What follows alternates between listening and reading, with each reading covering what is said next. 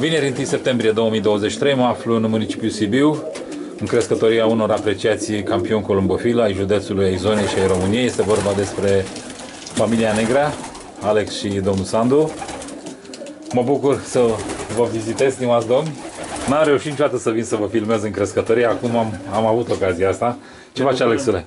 Uite, printre porumbei. În timpul sezonului de zboruri cu pui, nu? Am înțeles că astăzi ați, ați avut o etapă de concurs cu, cu pui. Sunteți Antrenament. antrenament, nu? Antrenament, dacă nu facem Ultimul, Din se- ultimul Pe din... ultimul antrenament. Da, da, da. Aici ne aflăm în compartimentul în care la acest moment voi găzduiți porumbei de, Matcă, de, de matcă, da? Câte perechi aveți aici, Alex? În jur de 50 de perechi. O, ai destule. Da. Te mai ajută ta- tata cu ei, nu?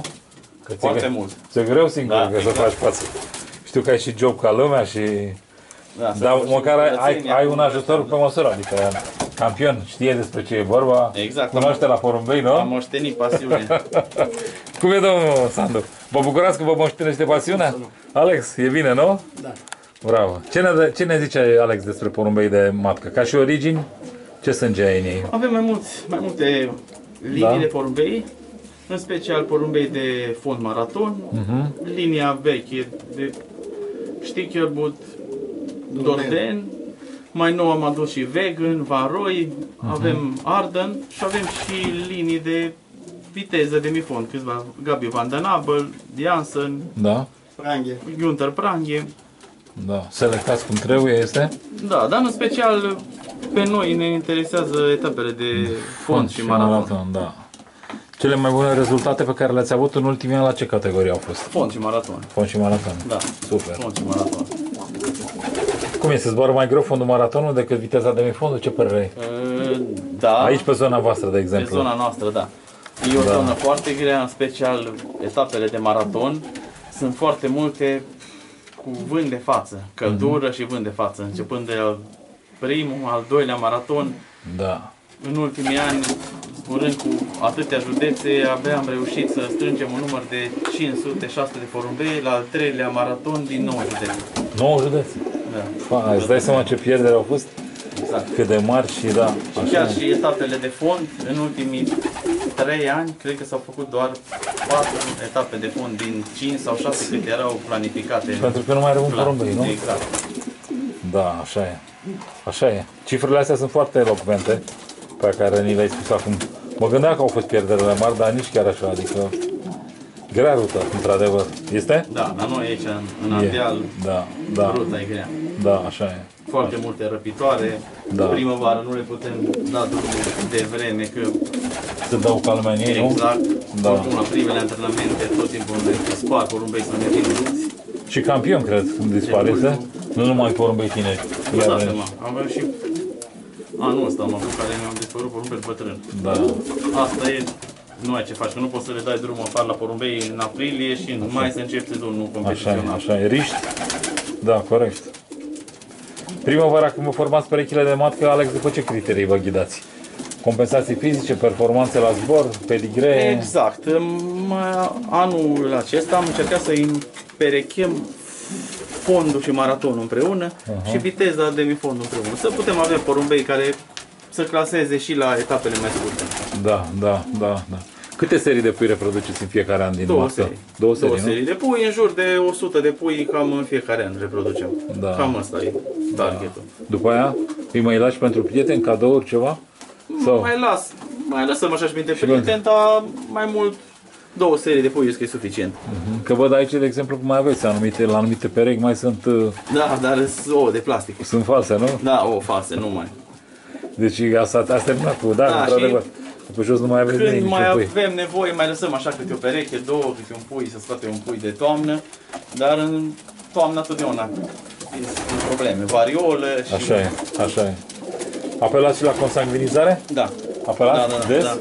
Inc- Des- inclusiv destul pentru zburători de sau nu? des, Da, destul Da? de des, da. Adică zburați și porumbei care sunt destul de consanguini sau Da. mai consanguini, da? Da. Și cât de aproape mergeți cu consanguinizarea, Alex?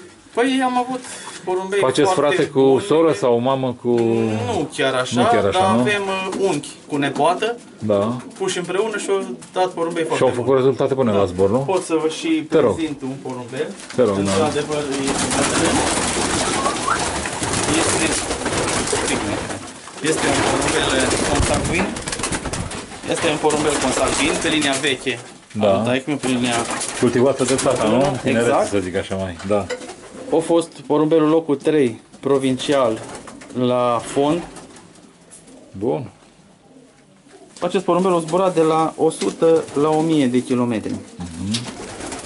Foarte bun. La etape foarte grele, Brno, Bratislava. Și scoate și acum, reproduce? Da, și acum, reproduce și acum. Ce vârstă are? E din 2008 porumbelul. Uhu, are 15 ani. 15 ani. Și scoate și la 15 ani. Da. Înseamnă că Asta e ai- un porumbel foarte bun. Îi, uh, avem foarte mulți fii, nepoți și strănepoți zborați foarte, foarte bine. Deci reproduce bine, nu? Exact. O să vă arăt și acum o, Da, te rog. o fică din el. Da. Este tata Da. la femela care anul trecut a fost locul 1 pe Sibiu, pe județ la maraton și locul 2 pe provincia Transilvania din 9 județe. Oho, Chiar vă și prezint acum femela. te rog, da. Frumos, într-adevăr. Un mascul cu personalitate, se vede.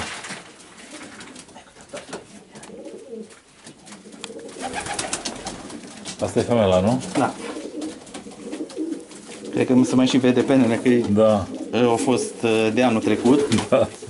Asta e o femeie foarte bună. Foarte, foarte bună. Cu seria 409 17 30 din 2018. Această femeie la, în 2021 a reușit locul 1 pe Sibiu la o etapă de volborz 750 de kilometri. A fost o etapă grea, cu căldură de peste 30 de grade și cu vânt de față. Au venit pe Sibiu locul 1 cu un avans de peste o oră și jumătate. Super. Față de al doilea porumbel sosit. Super. Zburată la văduvie, nu? Zburată la văduvie, Da. iar uh, rezultatul de top l-au avut anul trecut, când uh, la primul demifond din 80 de porumbei au venit prima, locul 8 pe Sibiu, la 420 de kilometri, Da. și la primul Znin, la primul maraton în Polonia, au venit în prima zi, doar patru porumbei au sosit în prima zi, ei au fost între ăștia patru. Bravo. Iar după două săptămâni am angajat-o la Gubi Național, 980 de kilometri și a sosit locul întâi tot în prima zi, cu o viteză de 1300 de metri. Asta de rară, da. Da. într-adevăr. După acest rezultat, i-a obținut locul 1 pe județ la categoria maraton și locul 2 pe provincia Transilvania. Bravo, felicitări. Mulțumesc! Super. Ai ceva din ea scos până acum? Pui ți ca să scoți pui? Da, da, avem pui, dar Da. în- doar unul singur l-am zburat. Din ea, că restul i-am ținut la matcă Da. anul trecut. Și aceasta este fică din masculul care vi l-am prezentat Fică bună, înainte. nu? Fică directă, da, nu? din masculul care Ai vi l-am văzut? prezentat înainte. Super. Așa. Și mama sa este o femeie de... Uh, are la origine Oswald Schneider, Sam de Jong, de la doctorul Mișu Bărsan. Da, da, da. Din Germania. Din Germania, da, Da. știu, da. Linia, ve- e linia veche de ce are dânsul de maraton. Super, frumos. Da, foarte frumoasă, da. Și valoros. Da, mulțumesc. Acum dacă se dovedește și la rândul e o bună reproducătoare, te-ai scos. Da, asta, asta rămâne de văzut. nu e așa, domnul Negra? Exact. Da? Reproducția e mai importantă, nu? Și zborul merge, da. Știți cum e, dacă reproduce bine, Eu cred că o să reproduc. da.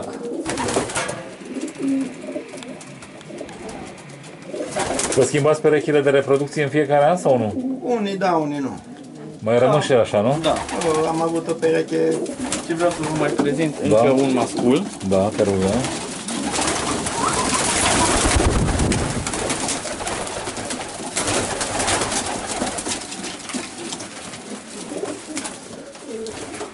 Cum mă năpârlesc și sezonul Da, am început năpârlirii. să arunce de pe ei. Corect.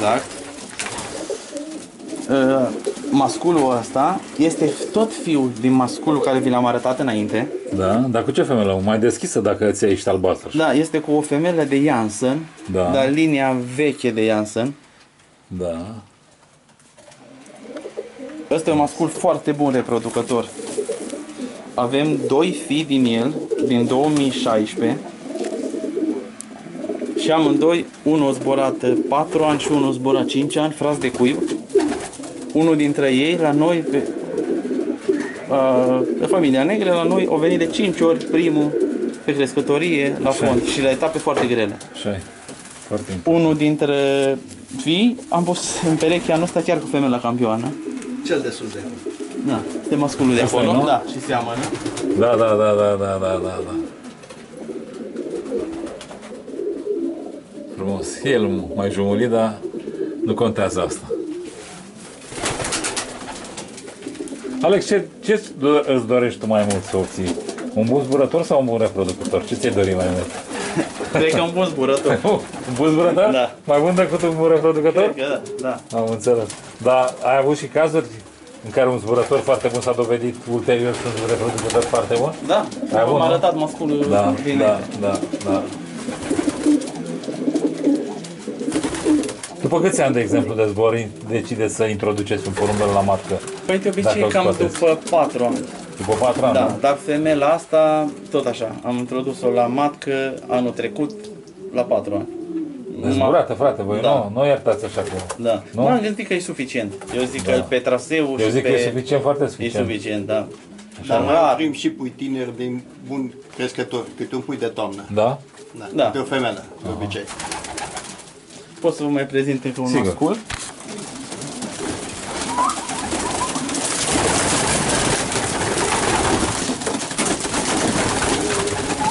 Da, da. Acel mascul este tot din linia veche de porumbei, Ai văzut? din linia veche de din care se trage și masculul bătrân, că vi l-am arătat înainte. Da. Și mama sa este o femeie de stichelbot. El, tot așa, la o etapă de znin, la o etapă foarte grea, care a ținut, nu știu, vreo 4 zile, Ia mai deschide acum. con- concursul. Dai cum Da. O sosit tot așa în prima zi. Și el are zburat vreo, cred că vreo 5 maratoane. da. Vezi liniile vechi, vezi ce fac liniile Exact. vechi? Și am hotărât împreună să-l ține la matcă, că eu Unii zic că nu-s valoroase, că-s vechi, că... Eu nu sunt de aceeași părere. Fie, fiecare are părerea Știu, lui, dar eu știu. zic că porumbei Așa e. buni și linia veche care au demonstrat într-adevăr trebuie să facem și infuzii cu porumbei noi care au poate Dar așa era probabil- bine gândite, nu așa oricum. Exact. Nu? Da. La, cresc, la categoria fond și maraton, eu zic că contează foarte mult porumbelul. La viteză, Mai mult pregătire. exact, Foarte, pregătirea, dar la fond și maraton trebuie porumbei rezistenți. Da. Culori preferate aveți la ei? Vă Mie plac? de obicei îmi plac surii. Sau dacă este și un sur cu pană albă, e chiar preferat. Ah, da? Guț. Da. Guți, adică Exact. sur, nu să zic, nu? Da. Da. Păi da, văd că la voi sunt mulți guți aici. Predomină culoarea, Da, nu? exact. Avem și albaștri. Da. Sau următoarea întrebare care derivă de aici. Dacă nu vă place un porumbel care reproduce, câți ani îl țineți în, în crescătorie? Chiar dacă are o origine bună, să zic. Să zic că cumperi un porumbel cu pedigrii ca lumea, ți-l prezintă cineva sau ți-l laudă cineva cu el și zici, hai Păi- să-l iau, să-l aduc Cam 3 ani. 3 ani. Dacă 3 ani Îl faci cu cresc, cel puțin cu trei femele diferite, Da. de exemplu, dacă e mascul, Da, nu? cel puțin. Și dacă nu rămâne unul după 2-3 ani de zbor, atunci nu știu dacă mai merită să Da, da. mai încerci. Da. Și elimini tot și produsii din el și tot, dacă mai rămân, nu? Nu, el- o să Sau- se sau- elimină se singur elimină prin singur, zboruri. nu? Zbor până se duce, nu? Exact. Ce să... Frumos. Bravo. Îmi place. Ce compartimente mai ai aici? Unde mai filmăm? Alături tot matcă, nu? Da, aici matcă, matcă. Hai să filmăm și alături puțin. Sigur. Că am văzut că am mai trecut dintr-o parte în alta. Aveți, aveți, aveți de unde alege. Da. Frumos. Haide, lucră aici. Curățenie, Vă dați seama. curățenie, Da. inelat, selecție. Bravo. Crescătoria unor oameni serioși, unor campioni de valoare, care se gândesc și la viitor. Nu? Exact. Hai. Să vă mai arăt uh, Te rog. așa o femelă, dar asta e din altă linie. Da.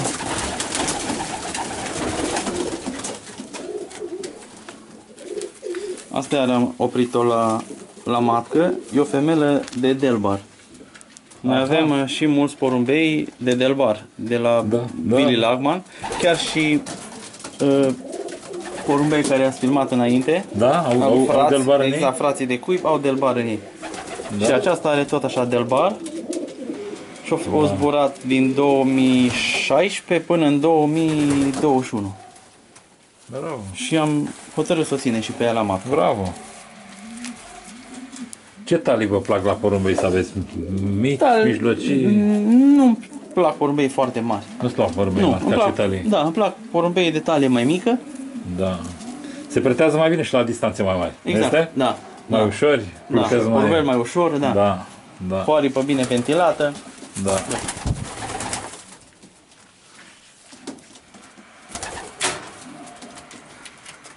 Bravo.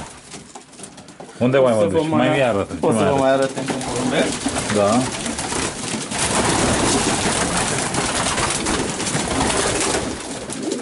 Și acesta a fost în uh, expoziția provincială Da. la Demifond Palmares. Un porumbel, ăsta e f- și bun reproducător. În combinație din linia, mama lui din linia noastră veche, Da. de porumbei, și tatăl lui este un uh, mascul de lin de la o, de linia de head Miracle. Prinde la da. Da? Foarte bun porumbei de Demifond. Am avut din el foarte mulți uh, porumbei și frați cu el, bun, dar până la etape de 600, pot să vă spun. Da, da, da. El a fost la a fost locul 2 pe Sibiu la Demifond Palmares cu câțiva ani și a fost în expoziția provincială.